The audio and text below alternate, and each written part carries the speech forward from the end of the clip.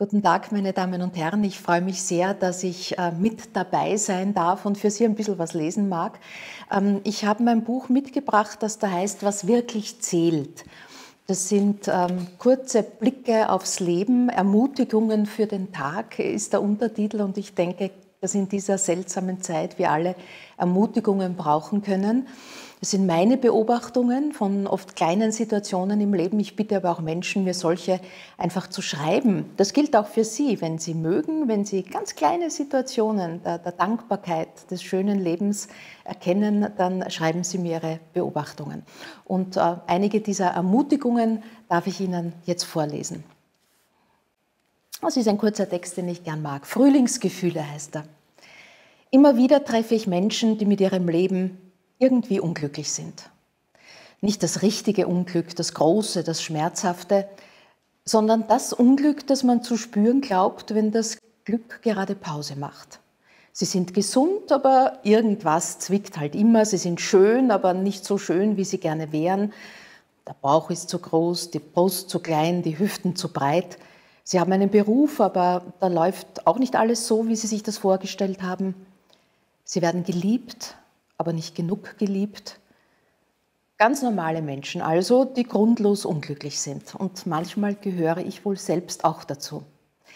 Und dann gehe ich in diesen Tagen durch den Garten. Nicht einmal der mutigste Modeschöpfer würde die Farbkombinationen wagen, die die Natur jetzt bietet.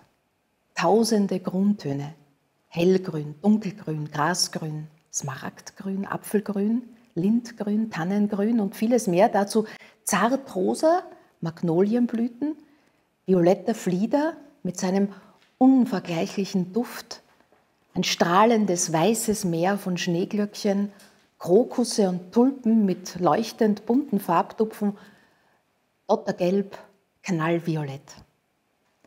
Die Welt wird schöner mit jedem Tag. Man weiß nicht, was noch werden mag, das Blühen will nicht enden. Es blüht das fernste, tiefste Tal. Nun, armes Herz, vergiss die Qual. Nun muss sich alles, alles wenden, schreibt Uland. Die ersten Frühlingstage haben uns dieses Gefühl beschert. Die Kraft der Sonnenstrahlen und die Farben des Frühlings lassen uns für Momente, selbst traurige Gefühle, schreckliche Nachrichten, schlimme Geschehnisse, graue Gedanken, vergessen. Es blüht. Jedes Jahr unglaublich, überraschend, verlässlich. Ich gehe durch den Garten, Sonnenstrahlen kitzeln meine Nase und ich spüre bis in die Zehenspitze, dass ich lebe. Dieses Blühen erkennen und darauf vertrauen, dass sich immer wieder alles wendet. Das ist das Frühlingsgefühl, das grundlose Glück.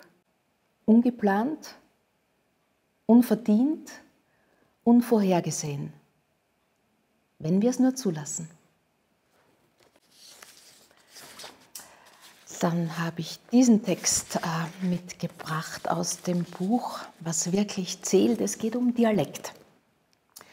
Mit Freude und Respekt beobachte ich auch die Tätigkeit verschiedenster Dialektretter und Wortbewahrer. Es ist tatsächlich eine wichtige und dringende Aufgabe, unsere Sprache zu pflegen, damit sie nicht zu banalen elektronischen Kürzeln verkommt, die zwar praktisch sind und dem Tempo unseres heutigen Lebens entsprechen, dafür aber oft entzählt und leer sind. Schön sprechen. Gerade am Land wuchsen ganze Generationen mit diesem zweifelhaften Kommando auf. Ihr Dialekt wurde ihnen regelrecht aberzogen. Dazu kommen Trends aus Werbung, Medien, Fernsehen und Filmindustrie, denen unsere Sprechweise zum Opfer gefallen ist. Es ist also höchste Zeit, alte Worte nicht nur zu bewahren, sondern sie wieder zu beleben. Kombinäsch oder Blutzer, ein Kleinod oder mein Augenstern, selbst der Amtsschimmel wiehert heute selten. Sich gewahr werden sagt viel mehr aus als bloß etwas herausfinden. Wer dahin sieht, ist nicht nur krank. Geschmeide drückt mehr aus als nur Schmuck. Gestade ist mehr als nur die Küste. Aber Witz ist schelmischer als jeder Unsinn. Ein echter Gefährte ist nicht nur ein Partner. Ein Bankert ist eben nicht nur ein uneheliches Kind. Obacht geben, Pfeil bieten, töricht, feist, geschniegelt, Maulaffen feil halten, verwordagelt. Ja, selbst das Fräulein gibt es heute nur ganz selten. Nach dem Urlaub machte mir eine nette Dame ein wunderschönes Kompliment. Sie sagte, haben Sie schöne Guckerschecken? Ein wunderbares Wiederhören nach Jahrzehnten mit einem so schönen und leider oft vergessenen Wort. Zitterklänge. Es war nur eine ganz kurze Notiz, die mir Richard Riedl aus Hall in Tirol geschickt hat. Er schreibt, seit vielen Jahren spiele ich in einem Seniorenheim Zither, Akkordeon, Gitarre. Immer wenn beim Fortgehen eine Dame ihre Hand auf meinen Arm legt und sagt, komm ja wieder, Zither ist so was Schönes, dann fühle ich mich stundenlang wohl.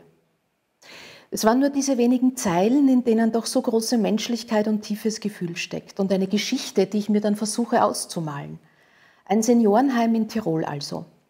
Menschen, die sich entschieden haben, ihre eigenen vier Wände aufzugeben oder diese aufgeben mussten weil ein eigener Haushalt zu beschwerlich ist, weil sie nicht mehr für sich selbst sorgen können. Das Alter ist nicht nur schön. Manches tut weh, der Körper, die Seele. Hier geht es ihnen gut, die Menschen sind nett, das Essen schmeckt und man ist nicht alleine. Die Bewohner hier blicken auf ihr großes Leben zurück.